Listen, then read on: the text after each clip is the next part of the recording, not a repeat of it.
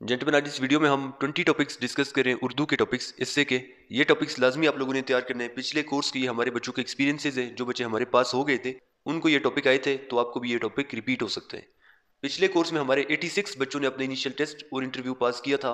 इसकी वजह क्या थी, ये भी मैं आपको लास्ट में बताता हूँ। सबसे पहले टॉपिक जो कि आया था जी, उनको वो था जी पाकिस्तानी तालीमी निज़ाम। तो इससे रिलेटेड आपको पता होना चाहिए। दूसरे नंबर पर महँगाई की वजूहत क्या है और इसको कैसे ख़त्म किया जा सकता है? तीसरे नंबर पे जमहूरियत या अमरीत अब बच्चे मिस्टेक करते हैं। अगर दो चीज़ें तो आपने कैसे चूज़ करना है वो भी मैं आपको लास्ट में बताता हूँ। नंबर फोर मेरा ख़ानदान। तो आपको पता होना चाहिए कि क्या आपने लिखना है पॉजिटिव मेरी ज़िंदगी का पछतावा। पछतावा आपकी ज़िंदगी का क्या है? बहुत बड़ा ऐसी चीज़ नहीं बतानी जिसकी वजह से वो आपको रिजेक्ट करने पर मजबूर हो जाए। इसके अलावा है जी, वक्त की पाबंदी की तालब इलम के लिए अहमियत। यानी एक स्टूडेंट के लिए वक्त की पाबंदी कितनी ज़रूरी है, ये आपको पता होना चाहिए। पाकिस्तान की जनूबी एशिया में अहमियत। क्या अहमियत है पाकिस्तान की? जनूबी एशिया में तो वो आपको पता होना चाहिए। इसके बाद जी पाकिस्तान की मीशत को कैसे बेहतर किया जा सकता है? तो ये आप बता सकते हैं, इंटरनेट के फ़ायदे क्या है और नुकसान क्या है? ये टॉपिक भी आए क्या ज़िंदगी एक इम्तहान है? ये पता होना चाहिए लास्ट कोर्स में रिपीट हो गया है।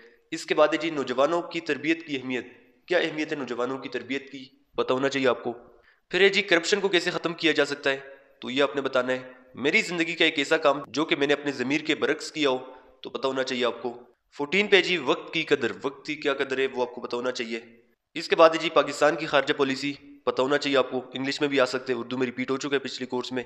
इसके बाद आपकी ज़िंदगी में कोई ऐसी शख्सियत जिसकी तरह आप बनना चाह रहे हो तो कौन है वो और क्यों है वो? सेवनटीन पे दोस्त और उनकी हमारी ज़िंदगी पर असरात, यानी आपका फ्रेंड सर्कल एटीन पे है जी, मेरी ज़िंदगी का मकसद। आपकी ज़िंदगी का मकसद क्या है? इसके बाद है जी, माशरे में बढ़ते हुए जहनी तनाव की वजूहत क्या है?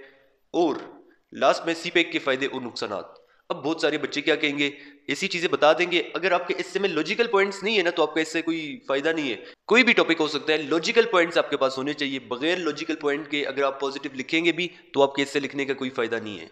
दूसरी बात यह कि यूट्यूब चैनल जो हमारा आई बी स्मार्ट स्टडी इस पर आप विज़िट करें। लास्ट कोर्स के जितने भी बच्चे हमारे पास हो गए, जो भी आपका सेंटर है, उस सेंटर में जो भी इससे रिपीट हो चुके हैं, वो इससे भी मौजूद है चैनल पे। इसके अलावा उन बच्चों के एक्सपीरियंसेस भी है, उन्होंने कैसे तैयारी की थी, अपना एक्सपीरियंस उन्होंने शेयर किया हुआ है।